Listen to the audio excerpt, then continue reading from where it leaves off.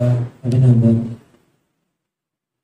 आज फिर उस परमात्मा ने हमें इकट्ठे बैठने का टाइम दिया आज फिर बहुत दूर दराज से आए मेहमान और अपना कीमती समय निकाल कर आए सभी मित्रगण आप सभी का अभिनंदन और आओ आज फिर पहले की तरह सब मिलकर बैठे उस परमात्मा को याद करते हुए कुछ इंस्ट्रूमेंटल और कुछ गीत सुनेंगे आज रिलैक्स रहेंगे बैठेंगे कुछ शहनाई की धूप पर फिर बहुत दूर से आया हमारे दिलबाग सिंह जी पवन कुमार जी और उनके साथी मैं मैं आपसे एक बात शेयर करना चाहता हूँ। तो शायद आप सभी को पता है लेकिन फिर भी आज जब हम इनकी सुनेंगे, जब हम शहनाई सुनेंगे तो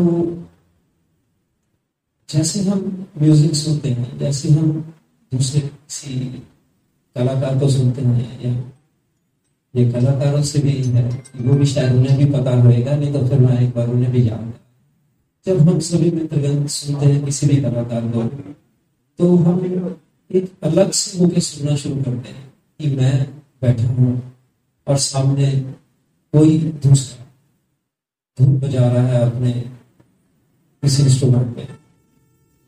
लेकिन मैं आज आए सभी मेहमानों से, अपने मित्रों से प्रार्थना करूँगा कि जब शहनाई जब गूंजे, जब शहनाई की धुन उठे तो आप उस शहनाई की धुन के साथ सुने, ना कि उसे अलग बैठ के सुने। तो सुना ठीक कह रहा हूँ।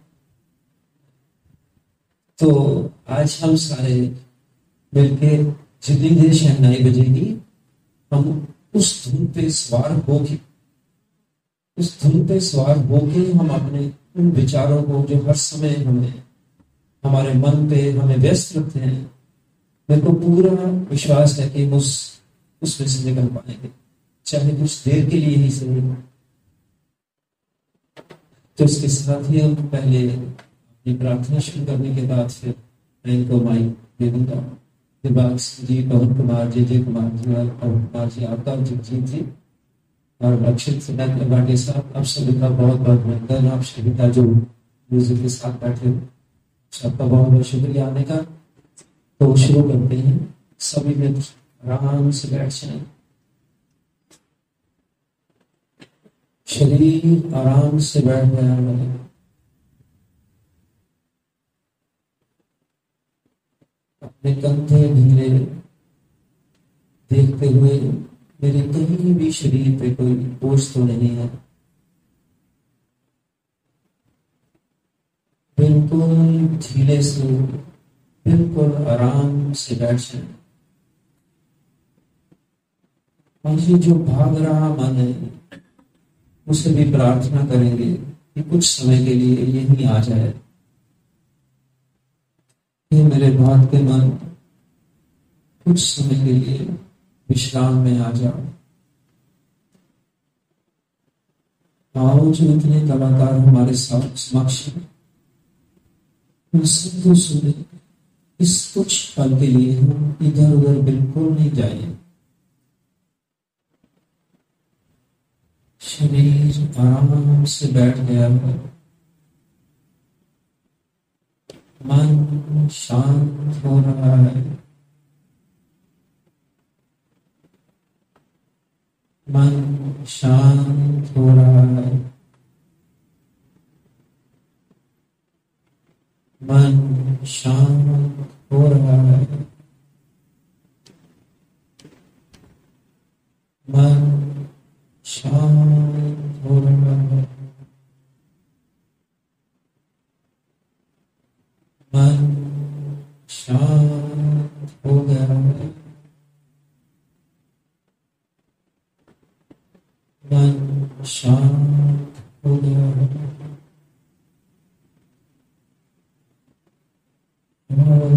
इस मौन के क्षणों में आराम से बैठे और सुने श्रवण श्रवण और केवल श्रवण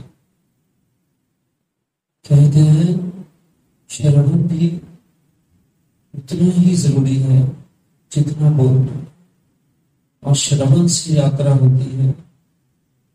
उस छोर की तरफ़ जो अज्ञात है, जिसे हम पाना चाहते हैं और ये रास्ता है, श्रवण भी एक रास्ता है।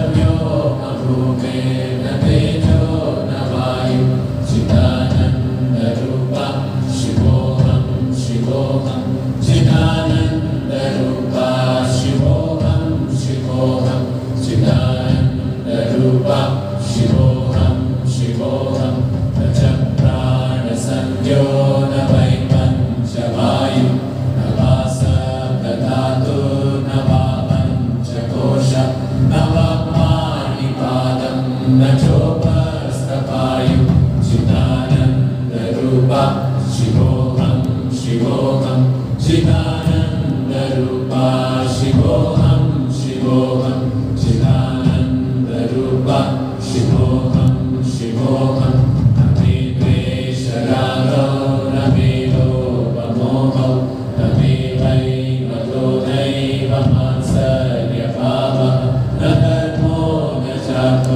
नमो न मोक्षः चिदानन्दरूपा शिवोऽ शिवोकम् चिदानन्दरूपा शिवोऽ शिवोऽहं चिदानन्दरूपा शिवोऽहं शिवोऽहं न पुण्यं न पापं न सौख्यं न दुःखं न मन्त्रो न तीर्घं न वेदा नयन्य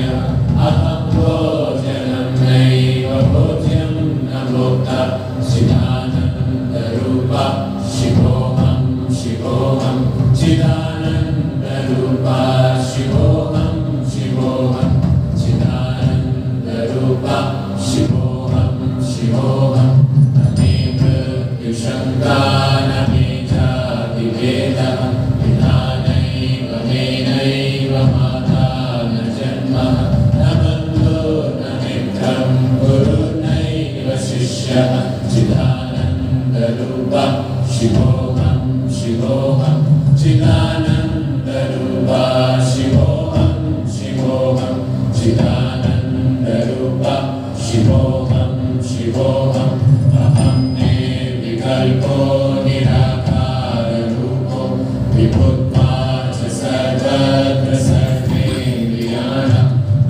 सङ्गतं नैव